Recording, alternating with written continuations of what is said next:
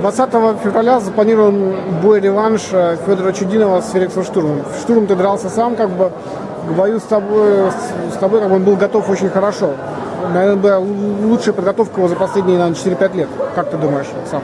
Ну да, когда я с ним боксировал, он был очень, в очень хорошей форме, и бой действительно был э, на равных. Против Чудинова, против Федора Чудинова он тогда ну, однозначно проиграл в моих глазах. И надеюсь, что Федор на этот раз все-таки ну, докажет, что Э, что он сильнее штурма и выиграет то ну, досрочно.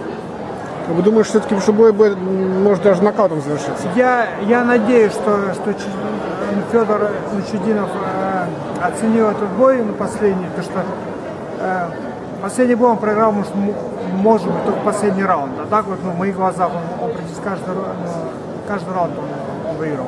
Может, там был один раунд, был ничья. Поэтому я надеюсь, что все-таки как-то э, правовое судейство будет ну, нормальным, и, и Федор выиграет. Вот почему штурму не удалось Чудинову найти какую-то правильную дистанцию? Такой опытный боксер, и не удалось дистанцию найти. Как, как, как такое возможно?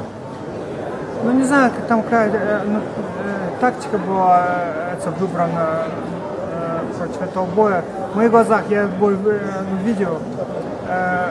Федор ну, против, из 12 раундов он проиграл, ну, он проиграл, ну, может, последний раунд, и был один или два раунда были ну, равные. Остальные раунды, значит, 8 раундов он по-любому выиграл, ну, в моих глазах. Я как, как спортсмен... А в чем он превосходит вот, э, штурма? Технически, физически? В чем его преимущество главное? Молодость?